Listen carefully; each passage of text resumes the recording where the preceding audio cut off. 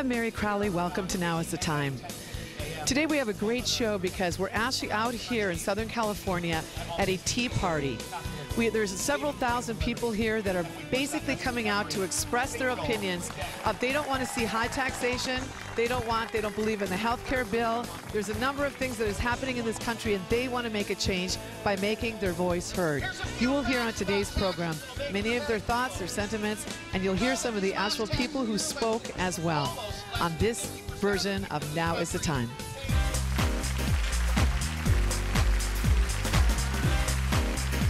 It's time to discover God's purpose for your life. Welcome to Now is the Time with Meri Crouley.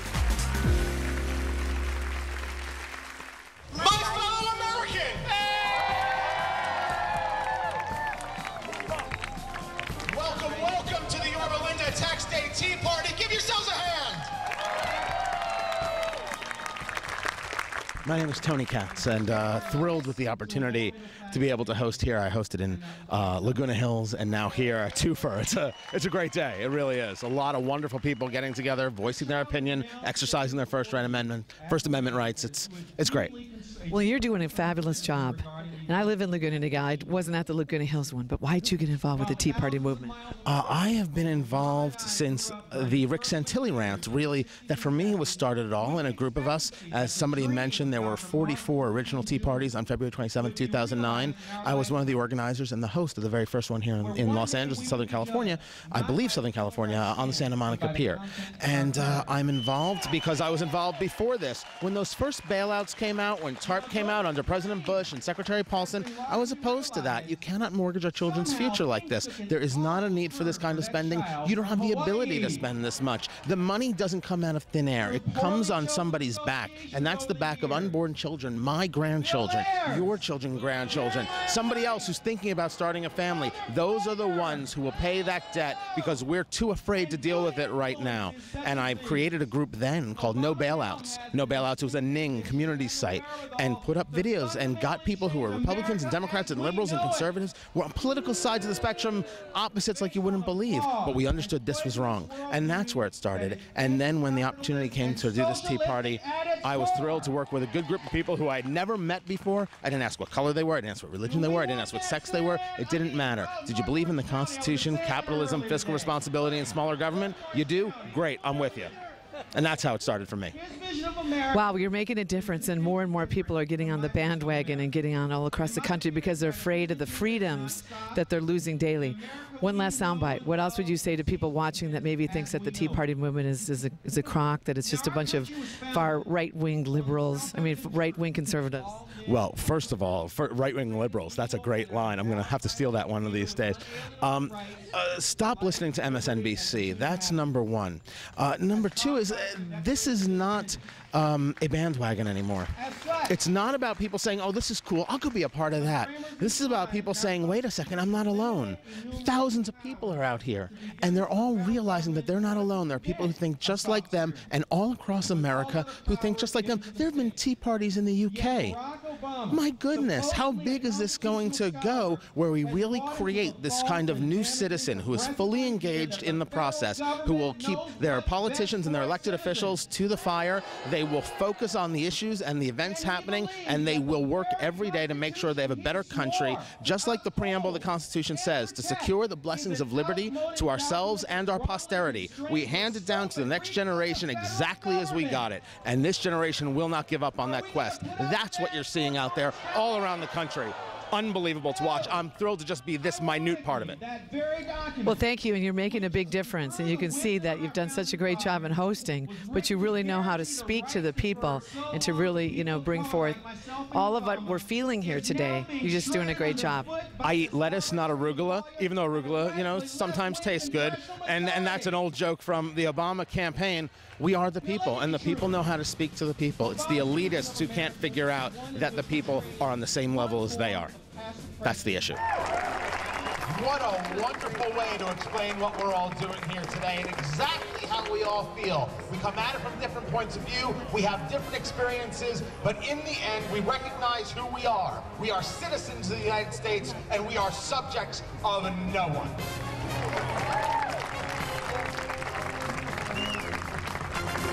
I'm here with with a, a great family here that I just met, and uh, they brought their three children. Aren't they cute? What are you guys' names? Eric, Kayla, Christina, And uh, what is your name? Dick. And your wife? Renee. Renee. Now, why did you come out to the Tea Party, and why did you bring your whole family? Well, we want to teach our children how to properly respond when the government's out of control, and that's what we think. The government's just taxing too much, building way too many programs, hiring too many employees, and the free market is what we need to have us live successful lives here. Yeah. And so, why did you guys come out? Now, let me let me hear from you. You're holding the sign that says "No more taxes." So uh, you probably don't like to pay taxes. You don't pay them yet, do you? no. So what what do you believe about? Are you having fun here today? yeah, I just think that they shouldn't make us pay money for no reason. And yeah. And what about you, young man? You're wearing a, a military type jacket. uh, same as her. What? Same as her. You have the same, so you say ditto. Okay, and you're the mom, you look like you've done a great job with these kids, and you too, Dad. What would you say about why you came out today? Well, we just want um, to stop this health care bill. Government is too out of control in their spending, and they just need to listen to the people and hear what the people really want and what we really need in this country. We need them to stop taxing so much and help us to get back what we had, the freedoms we have. We want to keep those. We will take our country back. We will restore what our forefathers have intended. Let freedom reign! With fiscal responsibility, constitutionally limited government, and free markets. Let freedom reign! Hi, I'm here with Jerry and Iris Hardig, and we we saw their hats as they were walking by, and I heard that you made this, Iris. Is that true? Mm-hmm. Yes, I did. and so you've got tea bags all over these hats. Jerry, you, you look a little foolish walking around with tea bags, but you know, I admire your courage. But it, it gets the point across. That's what counts. All right, who here works for the state of California?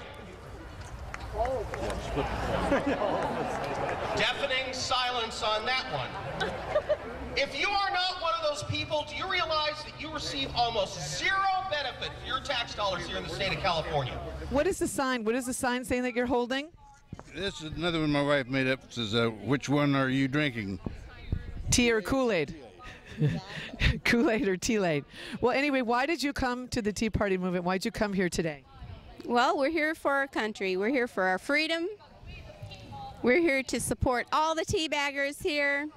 Our forefathers understood the Constitution they drafted was merely a piece of paper, an inspired piece of paper, certainly. But they understood that without providing the people with the means to enforce the Bill of Rights and the entire Constitution, the words in that document were meaningless. Does that mean that we, the people, have the right to bear arms to protect our liberty? Be careful. What is your name? Jeannie Gutierrez. And I like your shirt that says that you're an American patriot. Yes, I am. And what, what does a patriot mean to you? I believe in the Constitution and I believe in small government and I'm very concerned about where we're going. I'm concerned more for my daughter and my grandson than myself. Uh, I watch a lot on C SPAN and I watch Fox News and I watch MSNBC and CNN and I see what's happening and I'm very concerned. Yeah, and it's happening so quickly. So, but when you have a voice, and that's what you're you're, you're here today to make a statement, and you're one voice amongst many here that are basically expressing their concerns. Well, you are an American patriot. Thanks for coming. Why is there a Tea Party in America today? Because of the unrelenting tyranny of our federal government. So what we gonna do about it? Before we resort to arms, before we have to exercise our liberty, we vote the bombs out. Anyway, I'm here with a couple beautiful young girls. They're holding signs. What did you guys come to the Tea Party today for? We came here to support um, the movement against Barack Obama, against his Democrat ideologies, against his hypocrisy, and all that's happened in the USA, and against high taxes. Definitely high taxes. It's tax day, and it's got to stop. So. And now, are you helping uh, this Deborah Pauly running for city council? Um, yes, we are. She is running for re-election of the Villa Park City Council. Yes. Yeah, and, and you must. She must be. You must like her. She must be a conservative. Is that correct? Yes, conservative, and she helps with the youth associates, the OC Youth Associates that we're a part of, and it's great. Conservative. She's a wonderful lady. Well, how how old are you guys? I am 15. 15. And you go to school where? Canyon High School in Anaheim Hills. Same. Government has been turning up the heat on hardworking, law-abiding citizens, the contributors to our society, to the point where we are finally boiling mad. Well, you know what? That's just fine with me. Because it takes boiling water to brew tea. Now, I just heard you speak and you did an awesome job. What What is your name? Deborah Pauly. And you hold what position in the city council? I'm, I'm just a councilwoman in the city, and I do like to use the word woman. I'm not into the gender neutral vernacular that's been forced down our throats by the uh, politically correct that's been leading us down a path to destruction. Now, why did you get involved in the Tea Party movement? Well, it really was put on my heart a few years ago that uh, the elected officials that were in office were had completely lost track of what government was actually supposed to be doing. Um, they've they've outreached what they're supposed to be doing. They they are only supposed to be doing three things, as I have identified it in the Book of Romans. I call them the three P's. They're supposed to be protecting life and property. They are supposed to be punishing uh, lawbreakers and those that seek to do harm to uh, good good citizens, and they're supposed to be promoting, not providing, but promoting the general welfare. And anything beyond that, government shouldn't be doing. But I saw us involved in all kinds of things, and and the Tea Party has actually identified that. The reason that they are taxing us so much, and that's what the Tea Party movement is actually about. The Tea Party is taxed enough already. The reason government is overtaxing us is because they are overextending what they should actually be doing, what government should be doing. That's how I got involved. Many of you served in the military, any branch at any time. Raise your hand. Thank you so much.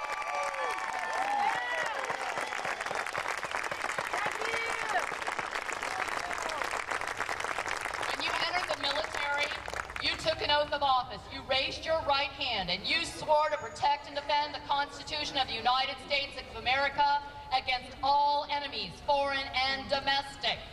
I want to tell you something. There is no expiration date on that oath. I took that oath when I joined the Air Force. I took it again when I became a city councilwoman. But never, never, ever in my wildest dreams did I honestly think I would have to defend my Constitution against my own president, against my own government. Did you ever think that would happen? Now, you had just mentioned to me that you want to run in the future for, for another office, a higher office. And I had just been talking to people, uh, Ashley at the outtake, uh, about people getting involved in government, that they have to let their voice be known. If they're not happy, then get involved. What office are you thinking about running for in the future? Well, you know what?